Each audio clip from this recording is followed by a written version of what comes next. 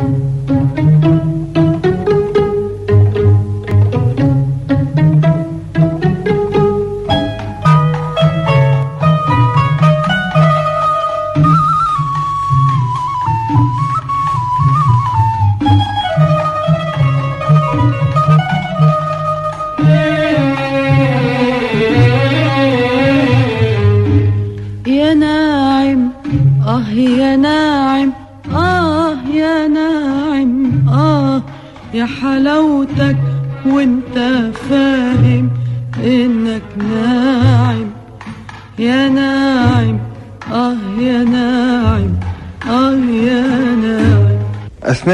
في المسرح آه، كنت لازلتي في المدرسة ولا كنت تركتي المدرسة؟ لا أنا كنت في المدرسة وصار عندي مشكلة بالمدرسة إنه الراهبات آه، شافوا صوري معلقين آه، طبعا مش مش قلت لك إنه بنعمل حفلات كانوا يعملوا حفلات آه، شافوا صوري معلقين على الحيطان بعدين ال- البنات صاروا يحكوا للراهبات إنه إنه أنا صوري معلقة و- وبعتت وراي الرئيسة الكبيرة الممير.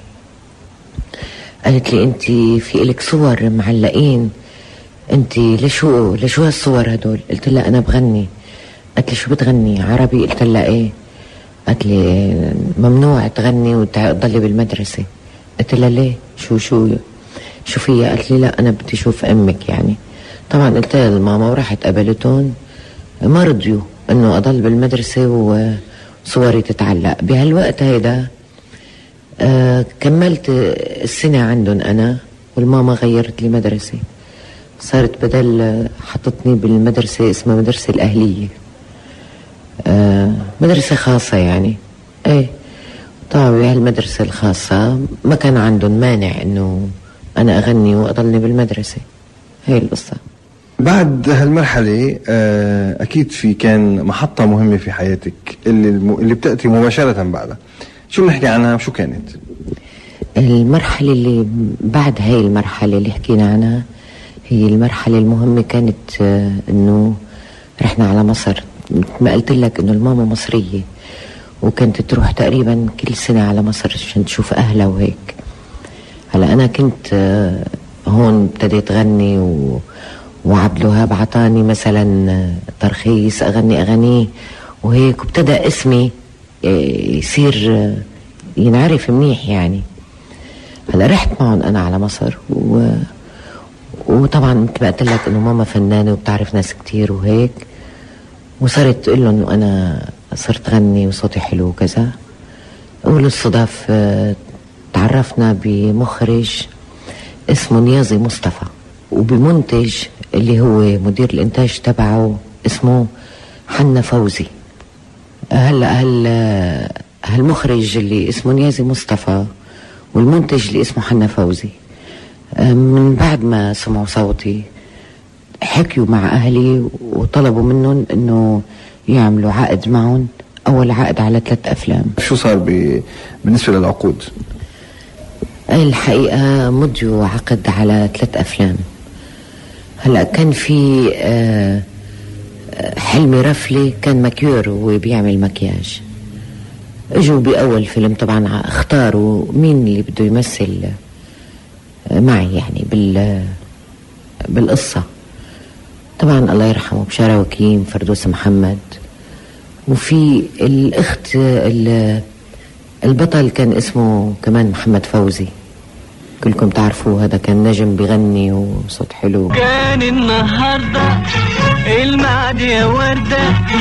كان النهاردة المعد يا وردة. بقالي الساعة خليكي شاهدة.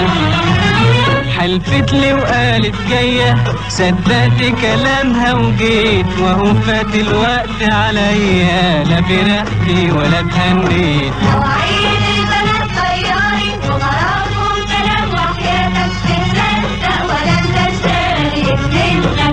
نياتك دي قالت لي الحبيبة تعالى.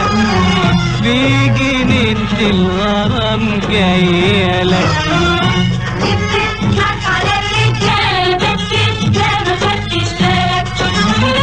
أنتوا كده كلكم. أيوه أيوه كلنا أنتوا ليه من فضلكم. أيوه في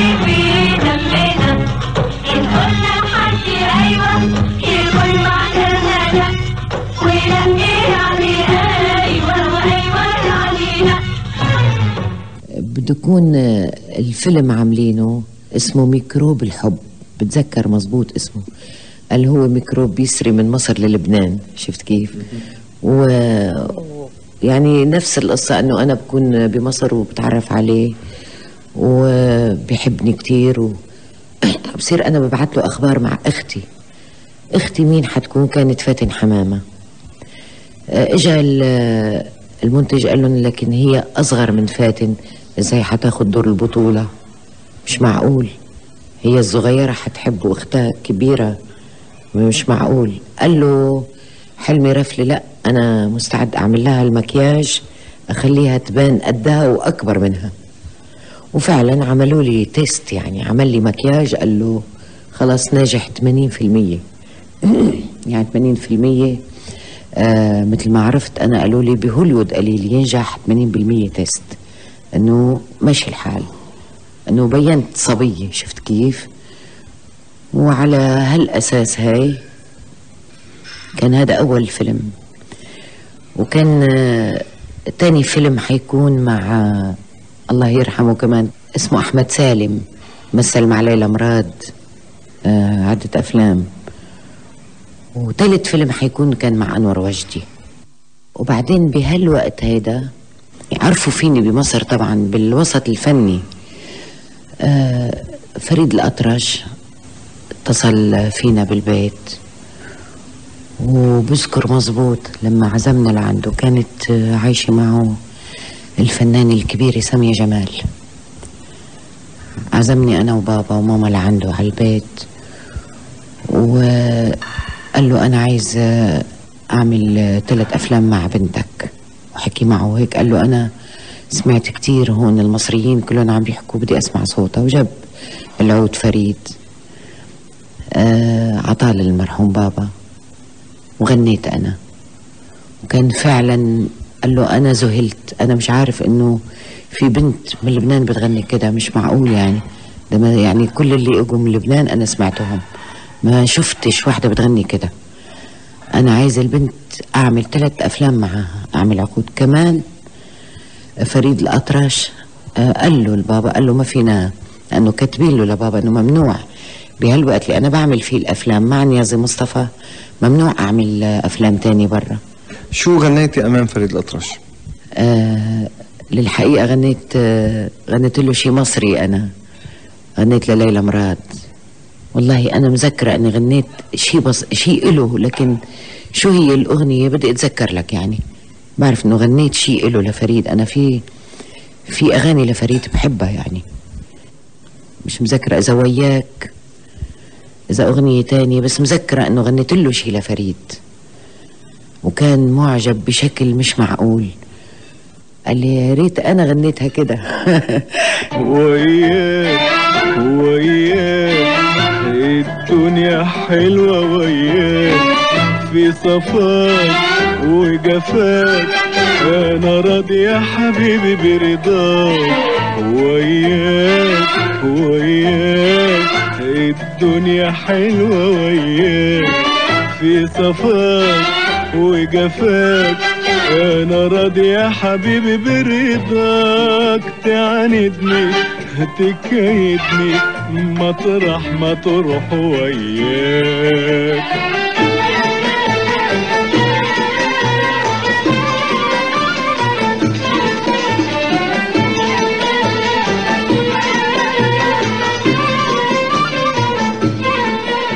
أنا فين وإنت فين؟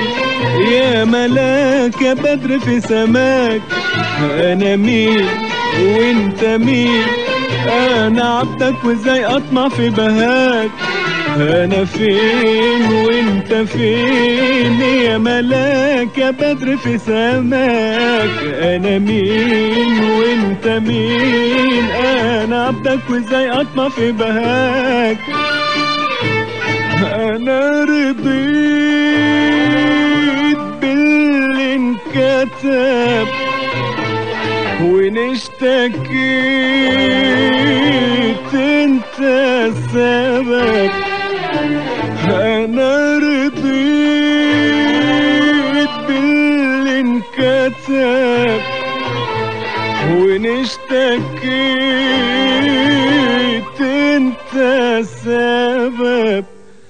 تهجرني ليه؟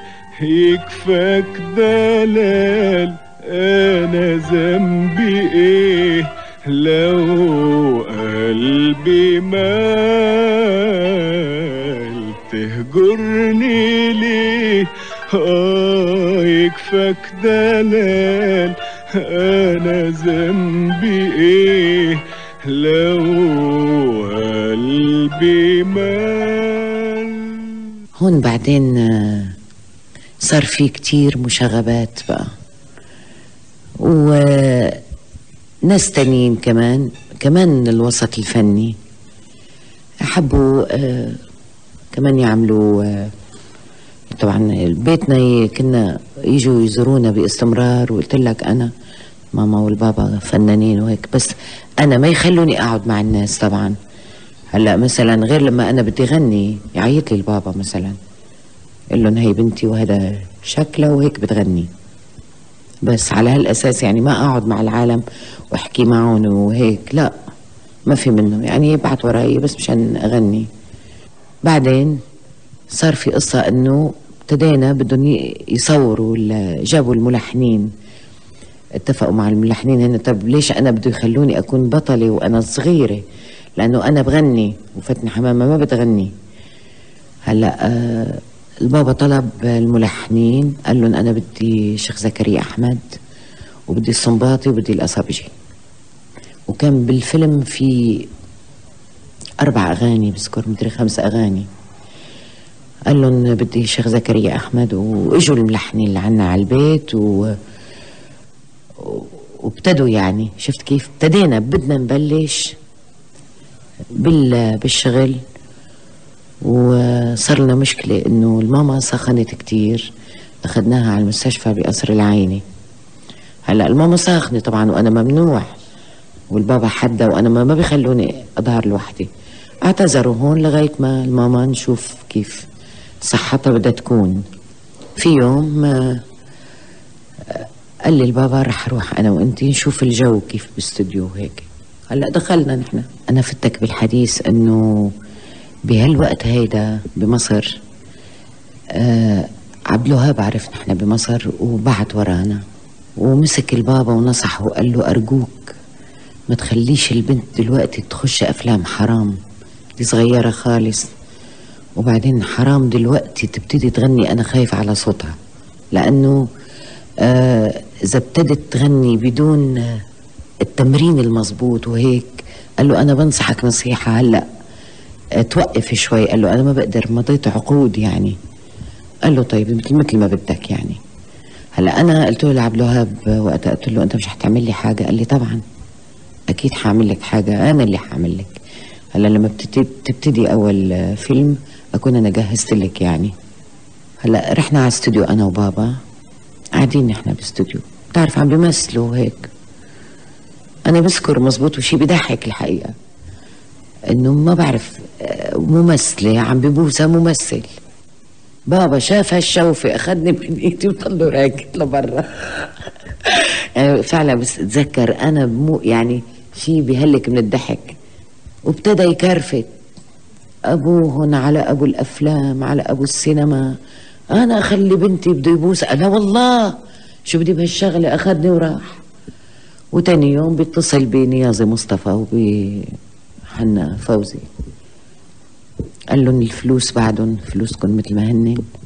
وأنا بنتي ما حفوت على السينما ابدا ابدا ولا بشكل. ليه ما ليه؟ قال لهم لا. أنا طبعا ما بخليني أحكي ولا بقدر أقول لهم إنه شاف هيك شيء يعني وبطل مثلا. آه قال لهم أنا شفت قلة الأدب بالاستوديو قالوا له يعني انت شو مفكر تمثيل لازم يحكوا مع بعضهم من بعيد؟ قال لا أنا بنتي ما بخليها يعني انما يحكوا مع بعضهم من بعيد بس أنا بنتي ما بتمثل بالسينما ابدا بذبحها قبل ما تمثل. وفسخ ال- العقود معهم وما بقى بده لا يشوف فريد الأطرش ولا يشوف حدا ولا بده يعني يفوت على استوديو هلأ هون كان كتير في عالم طبعا عم تفوت تتواصل لأنهم هول الجماعة كانوا تكلفوا وحضروا. يعني غير مثلا هو رجع لهم المبالغ اللي هن دافعينها بس هن آه، يعني دافعين لممثلين كتير ودافعين أشياء كتيرة وملحنين وهيك كله راح عليهم.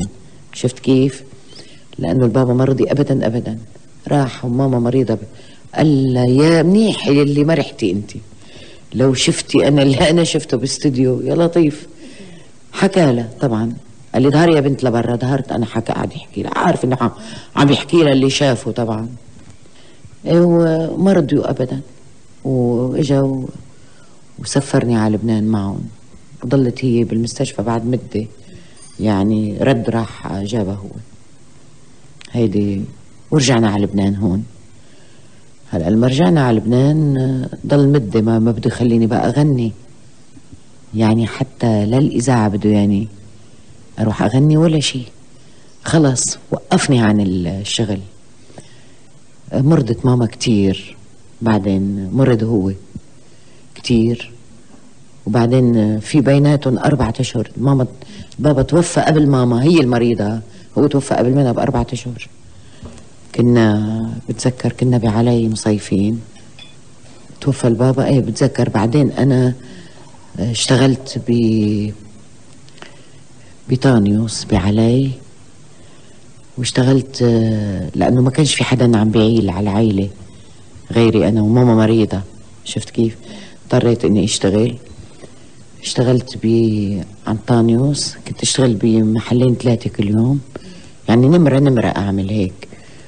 وبأوتيل شاهين وبمحل عويس وبطانوس بحمدون يعني.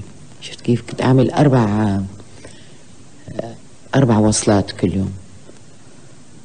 إيه وبعدين الماما كمان عطتك عمرة. هون بعدين في مرحلة جديدة بزواجي.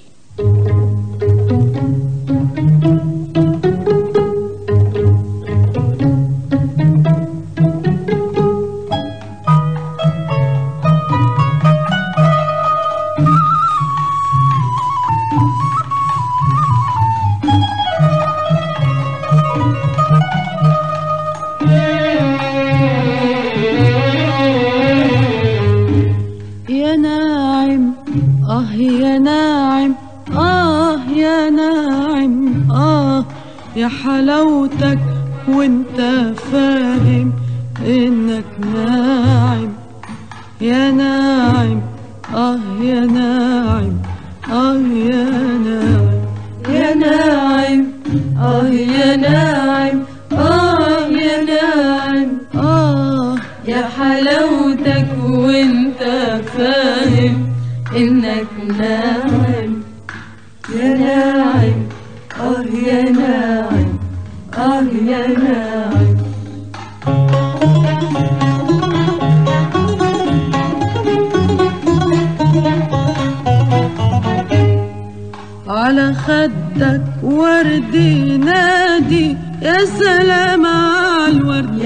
على الورد بعيونك داب السحر ونقط الخد وعمره ما تجلى السعد ولا تحلى الشهد.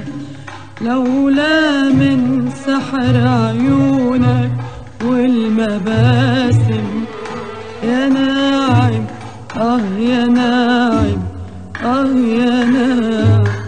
بدنا نذكر الاصدقاء المستمعين إنه لهالفترة هيدي كنت ما زلتي آه اسمك بيبي وما كنت حملتي بعد اسم وداد والوالد آه والوالدة توفوا وكنت انت بلشتي تشتغلي لإعادة العائلة. من هون شو بنكمل وبنقول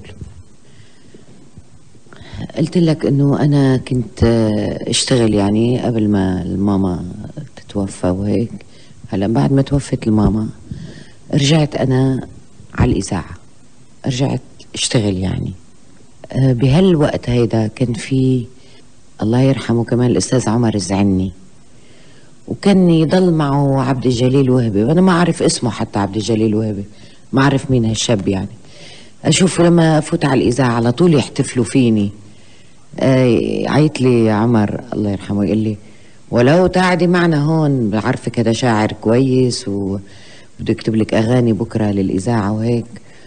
المهم تعرفنا يعني صرنا نعرف بعض وكان بتذكر وقتها كان آه، حليم الرومي كان رئيس آه، اسم الموسيقى بالإذاعة القديمة اللي هي حد العدلية. تعرفنا على تعرفت على عبد الجليل وصار في آه، يعني كلام هيك و... وانت وين ساكنة وكذا وكان يجي يحضرني أوقات آه، لما أغني يعني بحفلاتي وهيك. وحصل ال- الزواج يعني. حصل هون أنا آه، كان اسمي بالأول بيبي. هلأ صرت أقول اسمي الحقيقي. آه، كان في إذاعة الشرق الأدنى تجي تاخد أغاني وهيك. على أيام ما أنا كنت تزوجت عبد الجليل وهبي. هلا آه، صار في آه، عبد الجليل يتعامل مع فيلمون. كان يقولوا بالإذاعة باستمرار. كلمات عبد الجليل وهبي غناء في آه، ألحان فيلمون وهبي وغناء بهية وهبي. وانشهر الاسم بهالطريقة. انشهر الاسم كنت غني بها باسمي هيدا الحقيقي بهية. آه، أنا طبعا غنيت مجموعة أغاني آه، هلا بقول لك إياهم بس قبل كان عندي كمان أغاني كتير كانت حلوة وكتير كانت انشهرت يعني. كان في أغنية آه، اسمها يا سلام عليك ولد مكتوب لي حبك للأبد حبيبي بس ابن البلد. وأغنية كتير اتشهرت الحقيقة. كلام مين وألحان مين وقتها غنيتيها؟ هذا كان آه، فنان آه، اسمه موسى حلمي. هو كان أغلب وقته يعيش بمصر يعني. وبعتقد أنه آخر مدة كان اشترك مع آه، محمد علي صباح المنتج ومحمد سلمان. مخرج كان يشتغل هو وياهم. بس هو كان ملحن ومطرب. هو أصله ملحن ومطرب. آه، وكان عامل لي عدة أغاني إلي أنا. بهالفترة هاي آه، بعدين أنا لما تجوزت عبد الجليل طبعا صار في فترة غنائية آه، تشهرت فيها أغاني كتير حلوة عمل إياهم عبد الجليل. آه، وبقول لك آه، وكان الملحن آه، فيلمون وهبي محمد محسن. بتذكر لك ال- الله يرحمه حسن غندور. كان من آه، من أحلى الملحنين عمل لي أحلى أغاني. وقلت لك آه، تعارفي على عبد الجليل وهبي أكتر شيء إنه كان عمل لي أغنية برسي أمي فيها شفت كيف؟ وبتذكر الأغنية هيدي تعرف علي فيها بعد حسن غندور سمعني إياها ولحنها حسن. بيقول الأغنية أنت يا أغلى الحبايب على قلبي وعلى روحي مين من بين القرايب يواسيني على جروحي؟ آه يا زماني يا زماني آه ما كان في بالي غدر الليالي. المهم يعني الحقيقة مش حافظة كل الكلام بس هذه الأغنية كانت حلوة وإجا سمعني إياها حسن غندور. قلت له حلوة هي الأغنية. قال لي إيه هذا الشاب يلي دايما آه، بضل مع عمر الزعني اللي اسمه عبد الجليل وهبي. هو عمل الكلام وقال لي إذا بتريد آه، هلأ نحن المفروض نحس مع ال- البنت الواحدة إنه توفت أمها وهيك هيدي خصيصا لأمها. وغنيتها بالإذاعة سجلتها وقتها بالإذاعة. رجع عمل لي أغنية تانية هذا قبل ما أتجوزه يعني. اسمها ندرا عليا يا نور عينيا انحني قلبك. وعدت ليا لضوي شمعة في مقام نبينا. وأجيب دموعها على ايديا تشهد عليا هدول لأني حبيتهم أنا مشان هيك حفظتهم لأنه أنا ما بحفظ ابدا يعني. لحنها محمد محسن. وابتدى من هون يعني كنا نسجل قلت لك للشرق الأدنى. ابتدى من هون ينشهر الاسم. وفتك بالحديث طبعا لا مش ما فتك بالحديث ما قلت لك إنه آخر مرة أنا لما رحت على مصر. آه الله يرحمه محمود الشريف بيقول لي بيقول لي لما أنا أنا سجلت له آه، صورت له أغنية بالتلفزيون أغنية وطنية. قال لي حاجة غريبة ده صوتك يشبه صوت واحدة. كنت أقعد أنا وأم كلثوم كل يوم الساعة ثلاثة ونص نقعد على الراديو في الشرق الأدنى اسمها بهيه وهبة. اسمها بهيه وهبة. أنا تهبلت هو عم بيحكي. قلت له آه، يعني شو كنت تحب صوتها انت يعني؟ قال لي ده صوتها. جنان ما فيش فنانة أم كلثوم تصحى من النوم. هو كان جوزها لأم كلثوم لأم كلثوم إجا بفترة إنه كان مجوزة وكانت هي رئيسة نقابة صحيح أنا فتك بالحديث لما كنا بمصر إنه أنا تعرفت على أم كلثوم عن طريق أهلي. وكانت رئيسة نقابة وكانت مجوزة الأستاذ محمود الشريف كانوا مجوزين يعني. هلأ هو ما بيعرفني بس أنا تعرفت على أم كلثوم بالنقابة بس هو ما شفته. بس لاخر مرة أنا اللي كنت فيها بمصر. قال لي حاجة غريبة. ده صوتك بيتهيأ لي بهية وهبة قدامي بتغني. قلت له أنت منين بتعرفها؟ قال لي أنا كنت أقعد أنا وأم كلثوم. بعد الظهر كانوا يذيعوا لها أغاني. كانت تقول لي أم كلثوم اسمع. ده في في في صوت كده في الدنيا في إحساس كده ما أنا ما سمعتش في حياتي. صوتك حاجة غريبة بقول لك هو بيع. قمت أنا بكيت بكيت ليه؟ لأنه تغيير الاسم بيهد الفنان.